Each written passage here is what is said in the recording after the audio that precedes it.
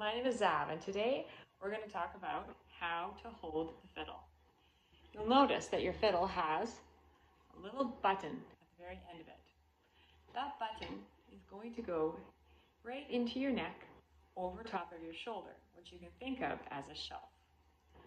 I like to take my index finger of my right hand, put it on the button, so I can feel that it's right in my neck, over my shoulder. And then I'm going to bring my head up and around rest it where I'm looking straight down the fingerboard and down the strings. Next, I take this hand and I bring it open like this.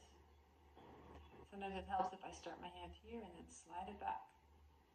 You'll notice that there's a wrinkle at the bottom of my index finger, and that wrinkle lines up with the very edge of my fingerboard over here.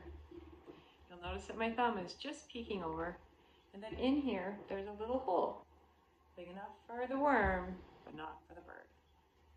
That's my setup. Button, shoulder, head, hand. Now you try. Button, right over your shoulder, move your head, rest it like a pillow, looking down the strings. Take your hand, bring it back. This little wrinkle lines up with the edge of the fingerboard. My thumb just peeks over, and there's a hole right in here, big enough for the worm, but not for the bird. All right? And that's the setup.